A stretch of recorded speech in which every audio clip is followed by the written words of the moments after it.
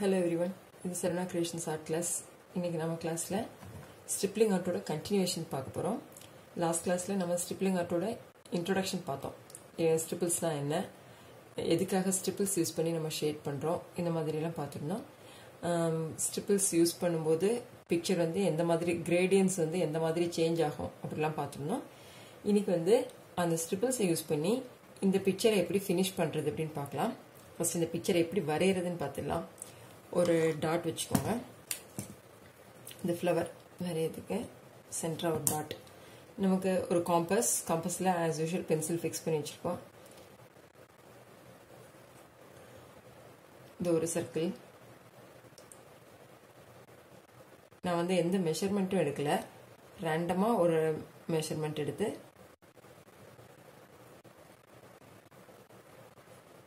இந்த ஃப்ளவரை வந்து ஈஸியாக எப்படி வரைகிறது அப்படின்றது மட்டும்தான்.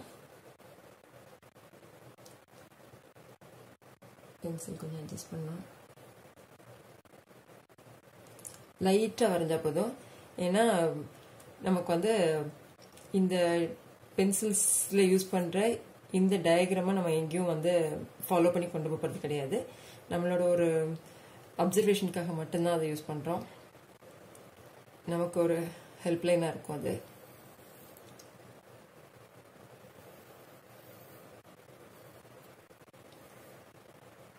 செகண்ட் சர்க்கிள் இன்னும் கொஞ்சம் கூட வேல்யூ கூட்டிட்டு.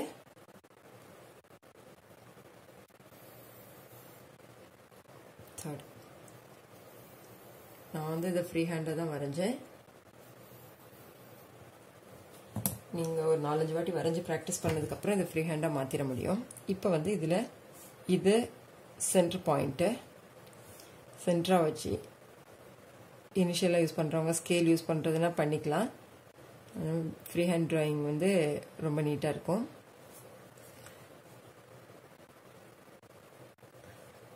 இந்த மாதிரி பார்ட்டிஷன்ஸை பிரிச்சாச்சு. பிரிச்சுட்டு இப்போ என்ன பண்ணணும்னா இங்கேருந்து இந்த பாயிண்ட் இதோட இப்போ நீங்கள் ஸ்கேல் யூஸ் பண்ணுறீங்கன்னா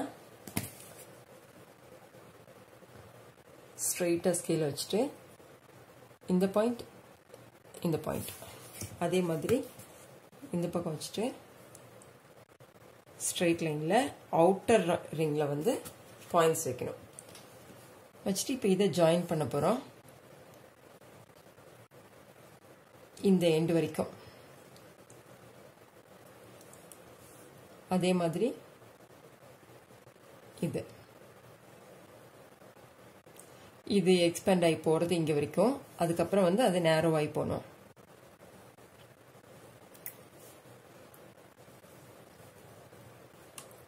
இந்த மாதிரி நாலு சைடும் வரைஞ்சாச்சு. அப்புறம் இதை வந்து இந்த மாதிரி வரைய போகிறோம்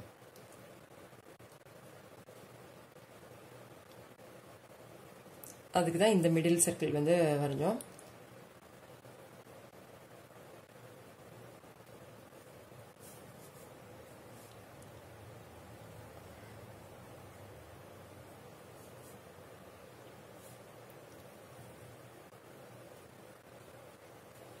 அவ்வளோதான் காம்பஸோட யூஸ் அவ்வளோதான் முடிஞ்சிச்சு இனி நாம் வந்து இந்த எக்ஸ்ட்ரா லைன்ஸ் எல்லாம் வந்து எரேஸ் பண்ணிக்கலாம்.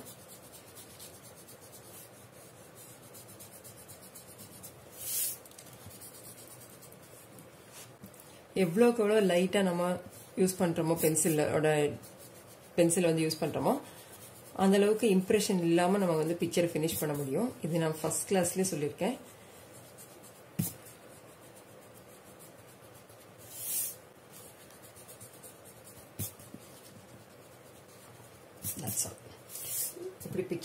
வச்சு வரைஞ்சதை நான் எப்படி ஸ்டிப்பிள்ஸ் யூஸ் பண்ணியிருக்கேன் இந்த பிக்சரில் அப்படிங்கிறது தான் பார்க்க போகிறோம் இதில் வந்து ஒரு பெட்டலும் ஒரு சின்ன பெட்டலும் விட்டு வச்சுருக்கேன். ஏன்னா உங்களுக்கு ஷேட்ஸ் காமிக்கிறதுக்காக.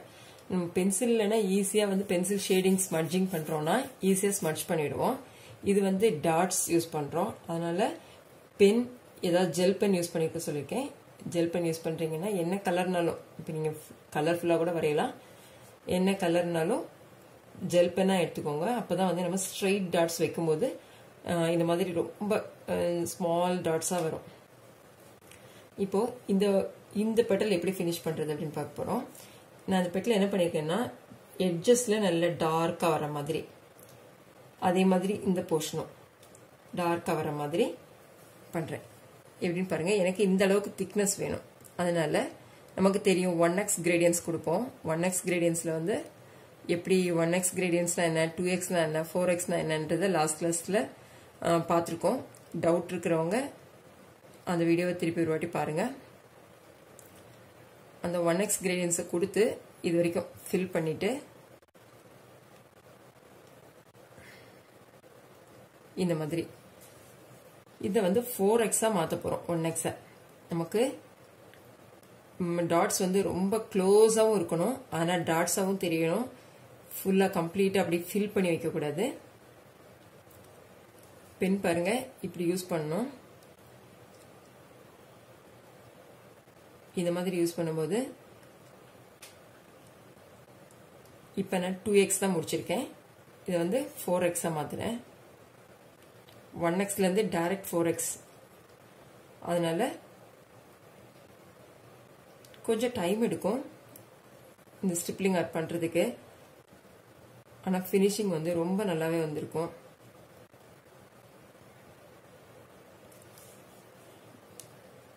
குழந்தைங்க ஸ்டார்டிங்கில் பண்ணலை அப்படின்னா பெரியவங்க பண்ணுறீங்கன்னா நீங்கள் ஒரு வாட்டி பண்ணிவிட்டு பிள்ளைங்கக்கிட்ட ஃபினிஷ்ட் ப்ராடக்ட் காமிங்க. அப்போ அவங்களுக்கு அந்த இன்ட்ரெஸ்ட் வந்து வந்துடும்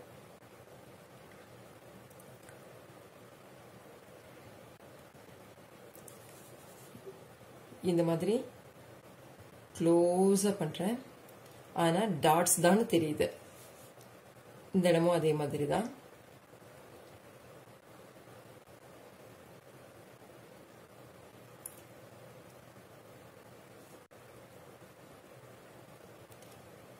நான் வந்து கொஞ்சம் அர்ச் பண்ணி பண்ணுறதுனால இந்த அளவுக்கு ஃபினிஷிங் வராது.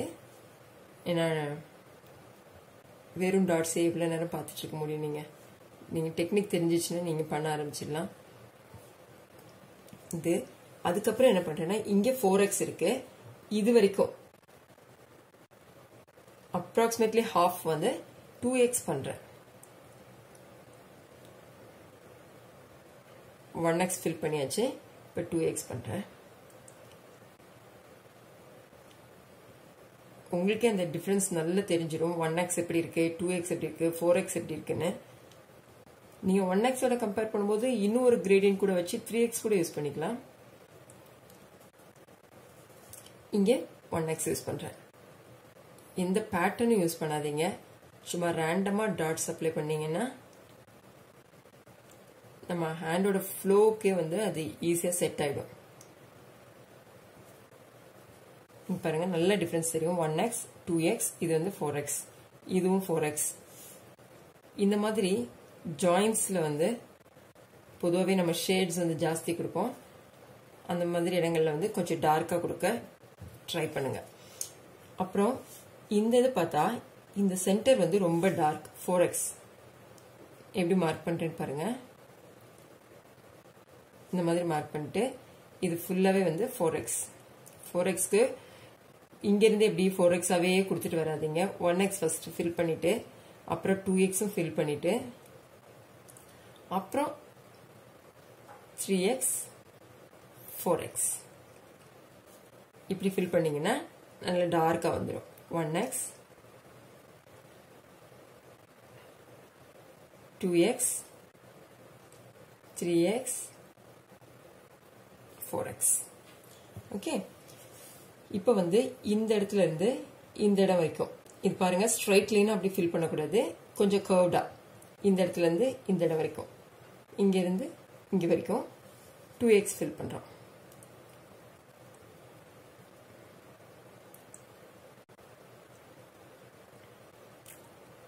ஒன் எக்ஸ்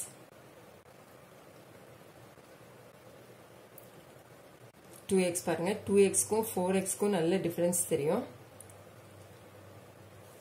அப்படி இருந்தால் அந்த பெட்டல் வந்து உள்பக்கம் நல்ல டார்க்கர் ஷேடாகவும் போக போக லைட்டாக வந்து எட்ஜஸில் நல்ல டார்க்காகவும் இருக்கிற கலர்ஸ் மாதிரி தெரியும்.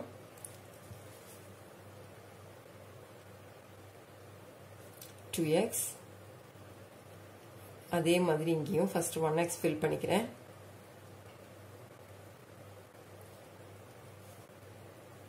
ஃபுல் பிக்சரையும் ஹாஃப் அன் ஹவர் அப்படியெல்லாம் ஃபினிஷ் பண்ண முடியாது.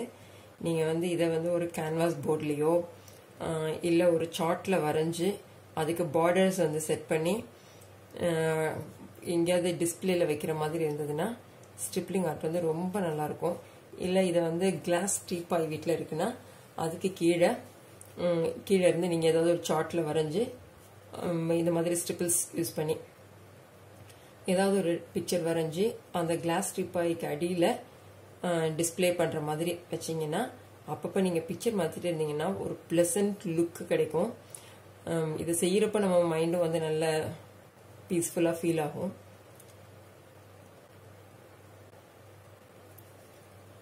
அந்த வியூவும் வந்து ரொம்ப அழகாக இருக்கும். நீங்கள் கலரில் பண்ணும்போது அதோட லுக்கே வேற.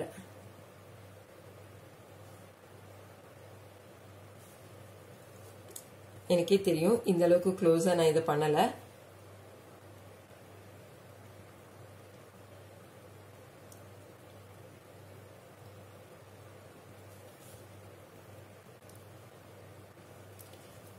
இது வந்து ஒன் எக்ஸ்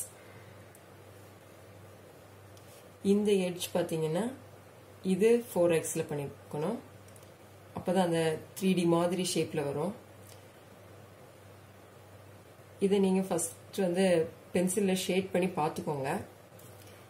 எந்த மாதிரி இருந்தால் எந்த இடத்துல டார்க்காக இருந்தால் நல்லாயிருக்கும் எந்- இந்த பிக்சருக்குன்னு இல்லை நீங்கள் வரைய போகிற பிக்சருக்கு எந்த இடத்துல லைட்டாக இருந்தால் நல்லாயிருக்கும் அப்படிங்கிறத நீங்கள் ஷேட் பண்ணி பார்த்துக்கோங்க. பென்சில் ஷேடிங்கில் அப்படி ஏதாவது டவுட்டாக இருந்தது நீங்கள் ஏதாவது ஒரு பிக்சர் வரைகிறீங்க அதில் எந்த ஷேட்ஸ் எந்த இடத்துல வரணும் அப்படின்னு தெரியலன்னா கமெண்ட் பாக்ஸில் கமெண்ட் பண்ணுங்கள் நான் கண்டிப்பாக ரிப்ளை பண்ணுறேன்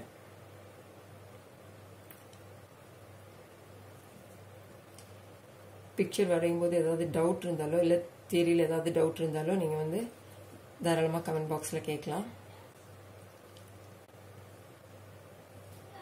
இந்த கர்வ்ஸ் இந்த பென்ஸ் இதெல்லாம் வந்து வர்றதுக்காக குழந்தைங்களுக்கு வந்து கோலம் வரைகிறது எப்படி அப்படின்னு இன்னொரு வீடியோ வேற போட்டுட்ருக்கேன். நீங்கள் மறக்காமல் குழந்தைங்களுக்கு காமிங்க. ஈஸியான டெக்னிக்ஸ் யூஸ் பண்ணி கோலம் வரைகிறது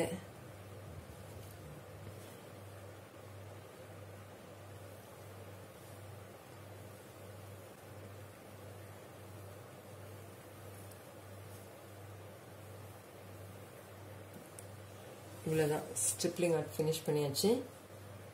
இதை வந்து நீங்கள் ஃப்ரெண்ட்ஸோட மறக்காமல் ஷேர் பண்ணுங்கள் சேனலை சப்ஸ்கிரைப் பண்ணலைன்னா இது வரைக்கும் சப்ஸ்கிரைப் பண்ணாதவங்க சப்ஸ்கிரைப் பண்ணுங்கள் கூடவே பெல் ஐக்கானை ப்ரெஸ் பண்ணுங்கள் அப்போ தான் நோட்டிஃபிகேஷன் கிடைக்கும் கிளாஸ் கண்டினியூஸாக மிஸ் பண்ணாமல் பார்க்க முடியும்.